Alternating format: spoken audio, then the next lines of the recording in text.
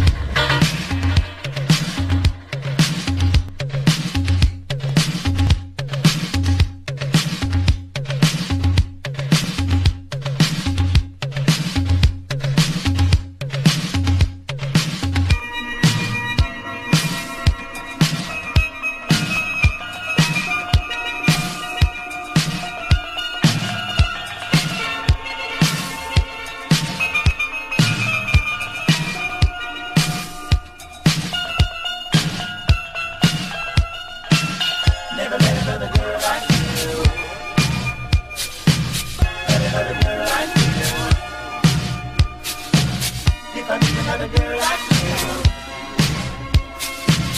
Never want another girl like you.